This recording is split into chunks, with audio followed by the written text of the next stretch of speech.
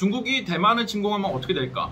다른 유튜버들은 어떻게 만들었을까? 제가 다른 유튜버들을 한번 쓱 돌려봤는데요. 그저 oh my eyes였습니다. 뭐 일주일 만에 미군이 베이징을 점령한다 이런 말도 안 되는 개소리도 봤고요. 현실은 미국조차도 대만을 구원할 가능성을 그렇게 높게 치지는 않고 있는 와중입니다. 2019년부터 미국이 진짜로 중국에게서부터 대만 구원이 가능한지에 대해서 워게임을 여러 번 돌려봤는데 계속해서 구원하기 어렵다는 결론만 나왔습니다. 물론 시뮬레이션의 결과가 항상 들어맞는 건 아닙니다. 워게임이라는 게 적의 장점을 극대화하고 나의 단점을 극대화시켜가지고 이걸 어떻게 극복하느냐를 연습하는 그런 과정이니까요. 그래서 실제로 걸프전 때는 워게임을 돌려보니까 이라크군한테 다국적군이 떡발릴 수도 있다더라 하는 결과가 많이 나왔지만 충분히 대비한 결과 실제 전쟁에서는 몇 명 죽지도 않고 손쉽게 전쟁을 승리로 이끌었죠. 그러나 워게임의 결과가 같다면 미군은 근본적인 부분에서 핸디캡을 가지고 전쟁을 해야 된다는 걸 의미합니다. 그리고 그 근본적인 부분을 극복하지 못하면 대만 구원은 어렵다고 봐야죠. 그렇다면 대만을 구원 할 때 미국이 가지고 있는 핸디캡은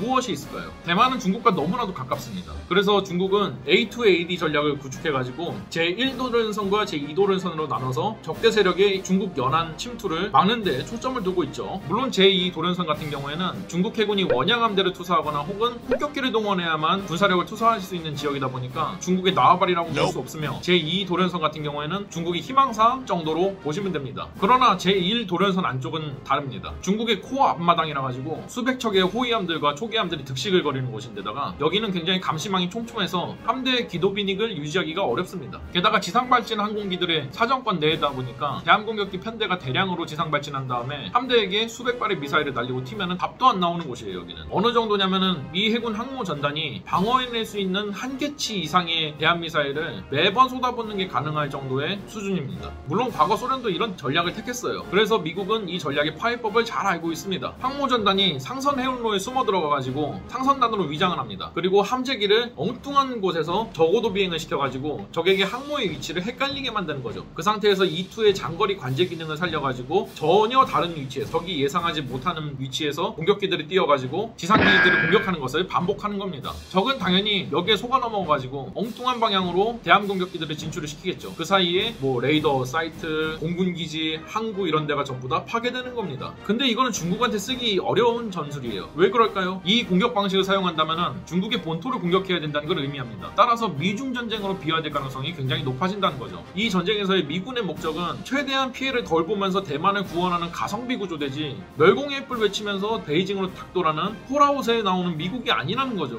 물론 뭐 편김의 왕까지라는 말이 있긴 합니다. 그래서 뭐 이참에 중국을 다 밀어버리자는 사람도 있는데 인구 15억의 G2 국가를 갖다가 무너뜨리는 게 그렇게 말처럼 쉬운 일이었으면은 지금 우크 라이나한테 쩔쩔매고 있는 러시아 정도는 미군이 진작에 허리를 반으로 접어버렸겠죠. 물론 중국이 미국이랑 싸우면은 미국이 이길 가능성이 높아요. 하지만 양국이 무역 전쟁할 때를 한번 잘 봐보세요. 두 나라는 이해관계가 얽혀있는 게 상당히 많습니다. 경제적으로도 말이죠. 그래서 서로 피보면서 전쟁을 했거든. 미국도 미국 나름대로 되게 피보고 중국은 더 피보고 그런데 실제로 군사적인 충돌이 일어나서 둘이 전면전이 비화된다. 그러면은 미국은 이길 수는 있을지언정 이전까지 싸워왔던 상대들보다 훨씬 더 많은 피해를 감수해야 될 각오를 해야 됩니다. 미국 이 이 전쟁에 개입한다면은 한국 전쟁 때나 베트남 전쟁 때처럼 적국에 대한 전략 타격이 없는 제한전일 가능성이 큽니다. 그렇다면 한 가지 큰 문제가 생기죠. 개입의 범위를 어디까지로 정해야 미중 전쟁으로 비화되지 않고 대만을 구원할 수 있느냐. 즉 개입 수위를 적절하게 하는 것이 가장 큰 문제라고 볼 수 있습니다. 미국이 그렇다고 아예 무시하고 개입을 안 하기에는 지금 현재 대만 보증법 발효 때문에 대만이 미국의 동맹으로 인정이 되면서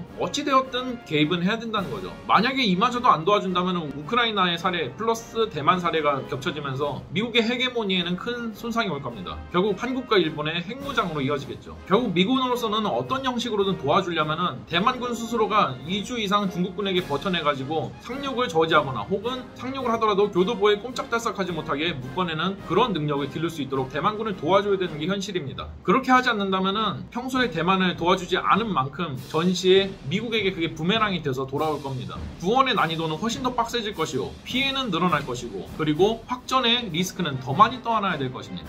아니면 아예 대만 보증법을 근거로 대만을 나토 가입시켜줄 방법을 한번 찾아보는 것도 방법입니다.